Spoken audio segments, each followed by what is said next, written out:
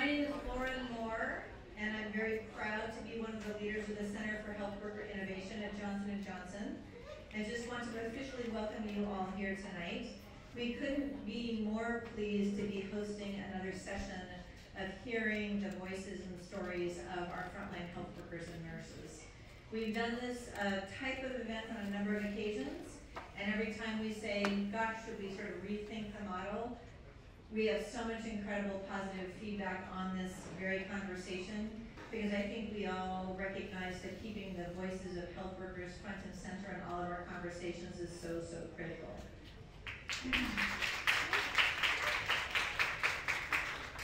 I think it's also important as we sort of hear from our speakers tonight and, and sharing their stories that the importance of community-based care if we want to achieve UHC and have access to primary care, how critical, how critical community-based care is. And I think again, sort of keeping health workers at the center of the conversation. We like at Johnson & Johnson, we like to say if we can solve the challenges facing frontline health workers and nurses, we improve health for everyone. And I think the idea that we focus, we hear their voices, I'm happy to say that in all of the UNGA conversations that I've attended so far, it's only two days, but it feels like a week, um, that health workers were in every conversation that I was part of. So I think our ability to listen to their stories, keep them integrated in the work, understand that they have the hard job and they know more than we do about what those needs are and what can move things forward, I just think is critically important. So tonight we are going to hear from four health workers and nurses. We're so, like I said, we're so pleased to have them here. I will encourage all of them to please try not to be nervous. I know it's a little scary to get up here with the microphone, but we are all here to support you and just so looking forward to hearing from you. So thank you very much for being here. And I have a thank you. I'm going to use my notes so I don't forget every, anyone. Um, a number of partners who helped us make this event possible, and we're so appreciative. The Community Health Impact Coalition. And not only do I say sheep or chick? Sheep. I like sheep better than chick. So sheep, thank you so much. Mothers to Mothers, the International Council of Nurses, the Robert Wood Johnson University Hospital, and the University of North Carolina Institute for Global Health and Infectious Disease. Thank you all so much for your help putting this, putting this all together. And now I would like to introduce Dr. Madeline Ballard, who is the CEO of Community Health Impact Coalition, or CHIC, a network of community health workers and health organizations working in more than 60 countries to make professional community health workers the norm worldwide. Madeline will not rest until there is health for all, and neither should any of us. Madeline?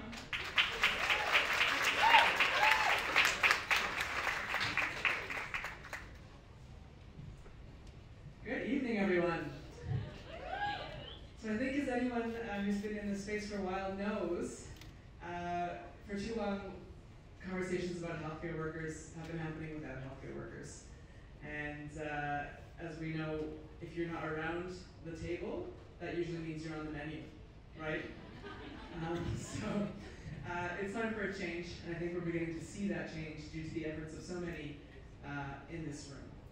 And um, it's a good thing because there's a reason that so many of the most powerful movements in history have adopted the ethos, nothing about us without us. And it's because those best placed to effect change are those closest to the problem. And when we still live in a world where a billion people are going to go their entire lives without ever seeing a healthcare worker, we have a problem. When we live in a world where half of community health workers in low middle income countries are unsalaried, we have a problem. And when we live in a world where 70% of frontline healthcare workers are women, but they only make up 25% of leadership roles, we have a problem.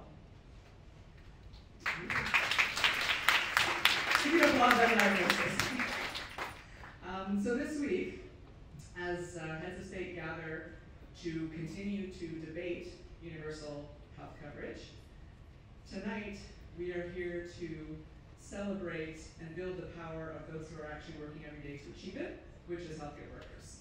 So, round of applause. I, uh, I'm very honored uh, tonight to get to introduce uh, four incredible workers who are here to um, win better care for their communities. We're going to hear from each of them in turn. We'll conclude the evening with a Q&A, so please do note your queries as we go. And uh, to kick us off, I'm so pleased to introduce Irwin Alasco, who is a promotora, or a community health worker, uh, who's actually working in J&J's backyard, just across the river in New Brunswick, New Jersey. And uh, she'll kick us off.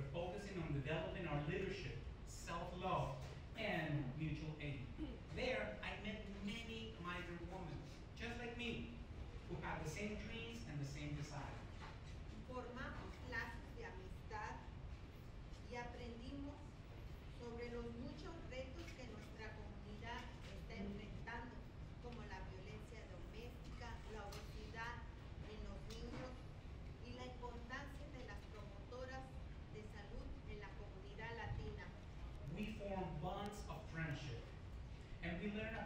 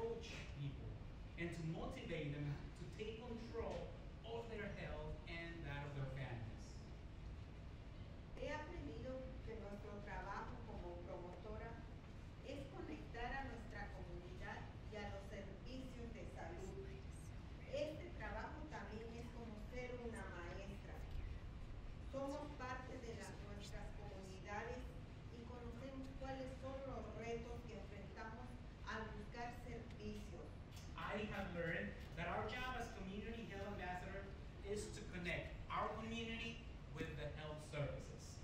And this job is just like being a teacher. We are part of our communities. We know the challenges that we are facing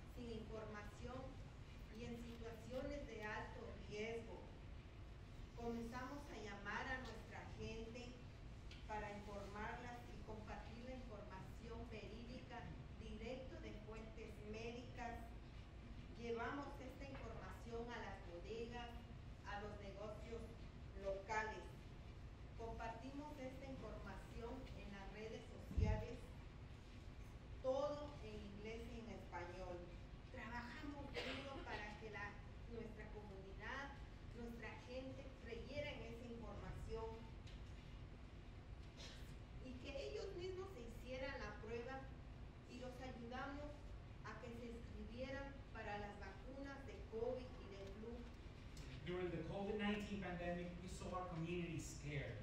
They were with no information and in high risk situation. We began calling our people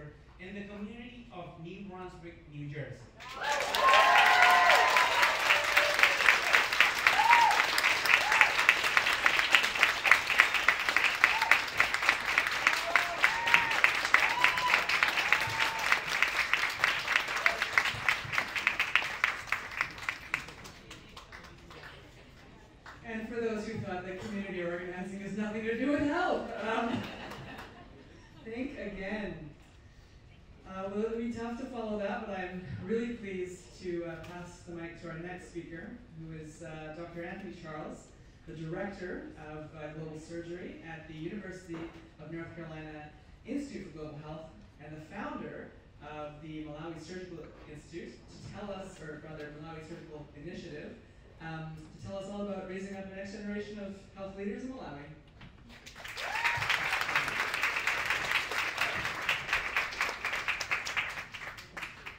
Good evening. Um, it was a Thursday night uh, in Lilongwe, Malawi. Um, I spent the whole day in the hospital and I thought I should so settle down, relax, and enjoy yet another African sunset. When my phone went off and one of my colleagues in the hospital called and said that there was an American couple that was involved in a motor vehicular collision. Now, they're now at the hospital and the wife does not look so good. Well, I only minutes from the hospital in Lilongwe. And so I drove to the hospital, went to the emergency department, and I evaluated the patient. Uh, indeed, she didn't look very good. Uh, she was in shock. Her abdomen was distended. It appeared that it was full of blood, most likely from a ruptured spleen from the motor vehicular collision. So I explained to her husband that she's going to need surgery. He was terrified understandably so. But he was terrified at the idea of her having surgery in the Longwe, Malawi. After back and forth, I convinced him that uh, this is what I do and uh, that he should uh, consent for the surgery. And he did. We took her to the operating room. Uh, we opened her abdomen. Uh, we evacuated the blood and we removed her spleen. And uh, she subsequently did well and went home. Unfortunately, uh, surgeons are not available to treat the majority of Malawians, and this American couple expected top-notch care in Malawi. They were lucky because they came to the right place at the right time to a place that so happened to have a surgeon present. So the question I pose to you is, shouldn't all Malawians have access to surgical care? I started to Malawi in 2008, and when I arrived in Lilongwe, Malawi, at Kamuzu Central Hospital, uh, there was only one surgeon in this 1,000 bed hospital. His name was Arturo Muko, and he was 84. And he worked hard. I was only there for about three weeks, and during that period of time, I knew this was not sustainable. And so he told me, he said, you know, there are lots of visitors that come here and go back to England and go back to America. But what I really need is for you to start a training program to train Malawian medical students graduating as physicians to become surgeons. And so when I came back to the States, I thought about it, and it kind of just haunted me. And I thought, well, this is what I need to do. And so, with other partners, we decided to start a general surgery residency training program Uh, orthopedic surgery residency training program for Malawians in Malawi.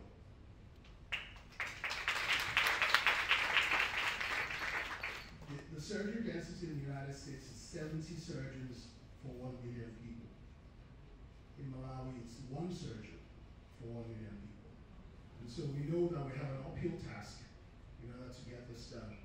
But we've been doing this now for the past 15 years, and watching a medical student go from a novice to a fully trained surgeon is a source of pride and enormous joy for me personally. Uh, watching them grow to become leaders within their communities, within their hospital, within their healthcare system, so that Malawians can lead and train the next generation of Malawian surgeons. As I reflect back on what Achurumiko said to me, help me train surgeons, it has become evidence that if you do not train Malawians to become their own surgeons, nobody else from the outside is going to come and do it. And that's what we did. And the Malawians that we've trained have all stayed in country. They've now become leaders within the field. They've transformed not only their own personal lives, they've transformed the lives of others around them. They're now training the next generation of future surgeons in Malawi. They've all stayed in country. And we believe that uh, our model can be a model that is sustainable, that can be copied all across countries in sub-Saharan Africa. So the future of the African child and African bright. Thank you.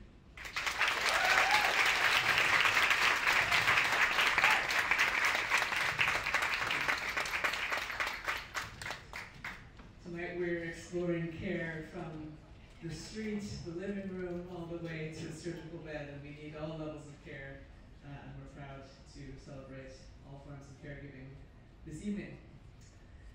Uh, our next speaker is uh, my sister, Upe Sinkala, a community healthcare worker, a uh, mentor mother, uh, and an advocate from Zambia um, who not only provides care but uh, organizes others to uh, make sure that community health workers get what they need to do so.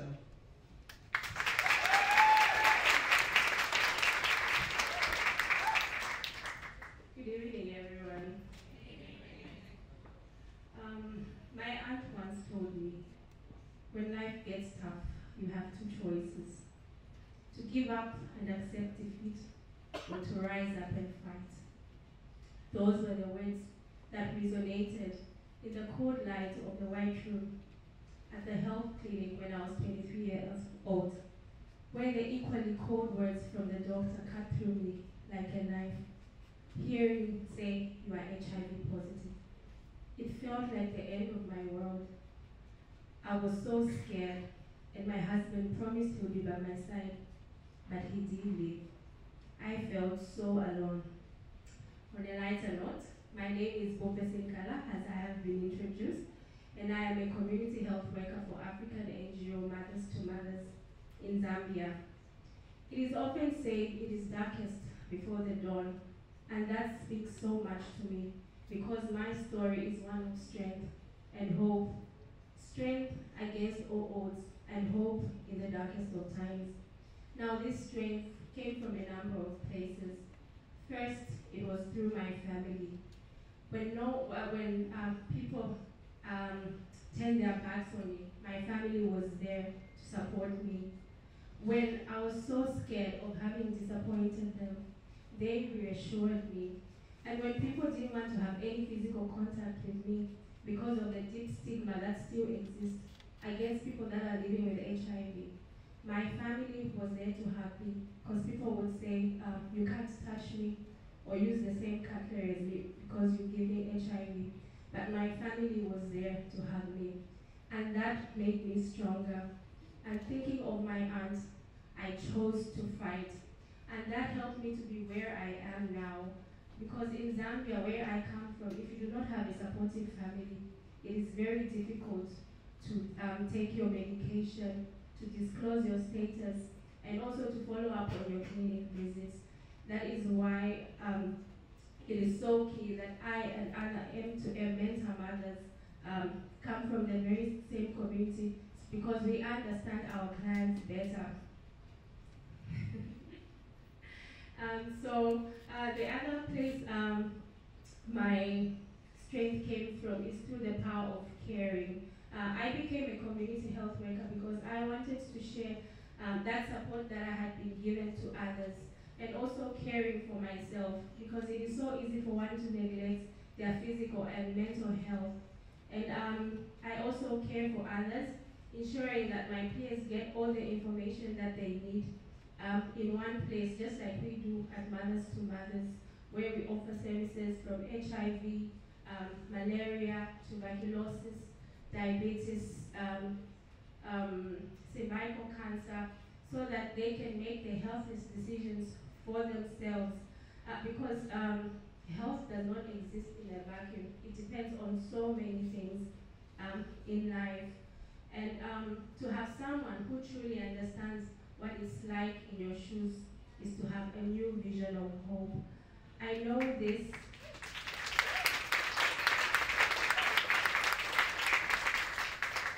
I know this because that is how I felt when I first came across um, Princess Kasune.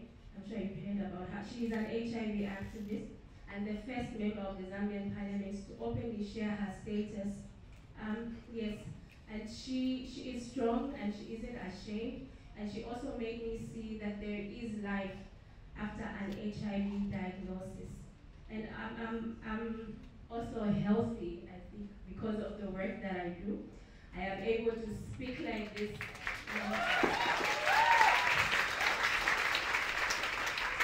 Because my work has taught me um, to speak to women, educate them, and be confident with them, and also be able to stand in front of a crowd like this in New York.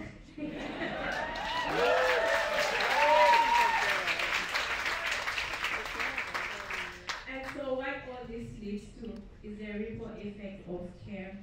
A community health worker strengthens an entire support system. The key word is truly community. And that is what I keep coming back to. The power of family, the power of caring, and the power of hope. Thank you.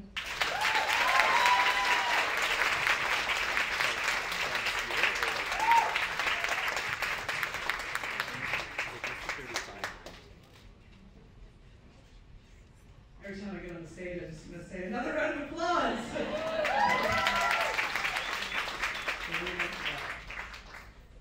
um, our final speaker of the night, I know it's gone very quickly, is uh, Valerie Rusevka, who is an ICN Global Nursing Leadership Institute scholar and is actually the chief nursing officer for Nunavut, the northernmost territory uh, in my home country of Canada. So, welcome to the stage.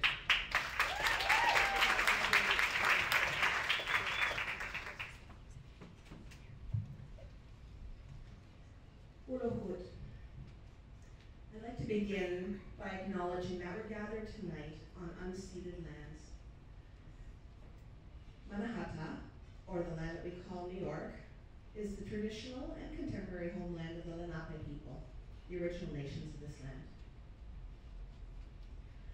The crunch and squeak of the snow under my boots sounds hollow. In the minus 60 degrees Celsius wind, I pull my scarf up a little higher, although my nostrils are already burning, and tears have frozen to my eyelashes in what we call Arctic mascara.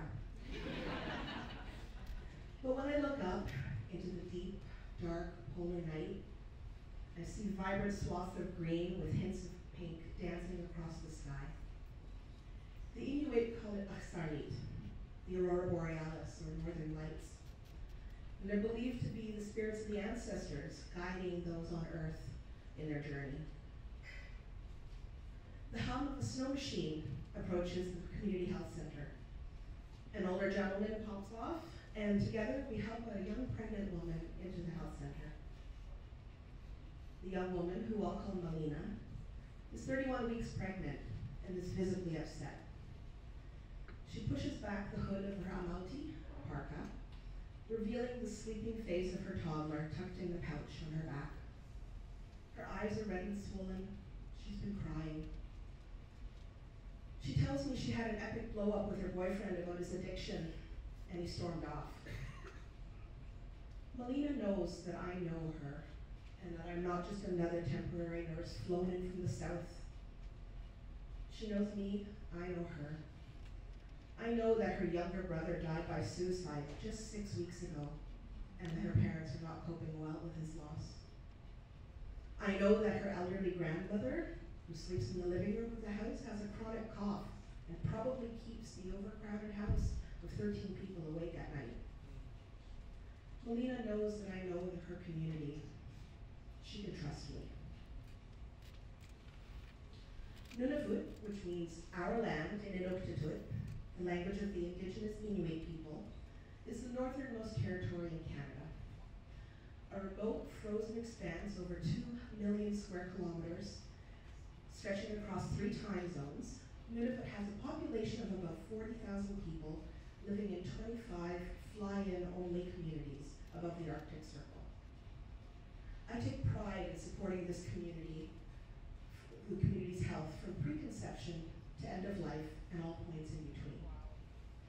While doctors and nurse practitioners do fly in on occasion and provide phone or virtual support from hundreds of kilometers away, with the support of the community health workers, clerk interpreters, and other allied health providers, we nurses are the ones that provide the primary health care in this community handling everything from episodic illness to emergencies and resuscitations,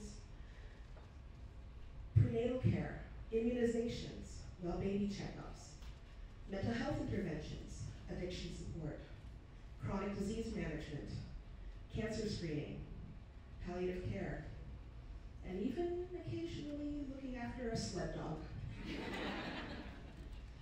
and through our work, we keep in mind the Inuit societal values and the profound legacy of abuse stemming from indigenous residential schools and other systems of colonization. Saying the words truth and reconciliation is easy. Matching it with actions is what matters. But there's more to the story. After assessing Melina and her unborn child, I sit and I listen to her distress. She looks up, sighs deeply, and a small smile breaks through her tears. Often, it's not just the medical interventions that matter. Right now, she needs somebody that she can trust to listen to her and be there for her. She knows that I'm part of her community. She sees me at the grocery store or attending community feasts. I take pride in being a trusted component of this community that I serve. But I can't be everywhere all the time. The reality is that we're facing a global nursing shortage unlike any we have ever experienced. And this is most acutely felt in the most remote regions like Nunavut, where every week we're working hard and trying to avert the full closures of health centers because of the nursing shortage. As I try to do my part, I am utterly exhausted. In this busy health center, we should be staffed with seven or eight nurses but there's only three of us, including the supervisor. And I've been awake for over 24 hours. We're expected to provide more and more care in a shorter amount of time, reducing the ability to connect with our patients on a holistic level. Today, nurses aren't just leaving stressful workplaces, they're leaving the nursing profession altogether. And this just makes the problem even worse. The demand for care is ever increasing, and we need more nurses to share the workload. And there simply aren't enough nurses. And those of us who are left, we're burning out. It's a vicious cycle. So this is our call to action. Where you live should not determine whether you live.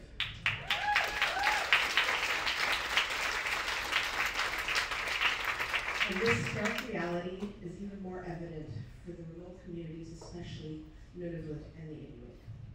Governments need to invest not only in the recruitment of new nurses, but especially safeguard the retention of those experienced nurses who know their communities and can provide mentorship. And so I stay. My presence means that patients won't see a constant revolving door of unfamiliar faces who know nothing about their community's unique struggles and beauty. Melina pulls the hood of her amauti over her and her boy. They are all survivors, and she rubs her restless belly. And like the dancing Aqsarniit in the night sky above, guiding travelers with her light, my presence reassures Melina that she's not alone. I continue to be in awe of Indigenous resilience, and especially in women like Melina. It's my privilege to witness her kids grow up. It's my honor to be invited to be a part of their community, just as it is every nurse's honor to be right there, where the people are. Thank you.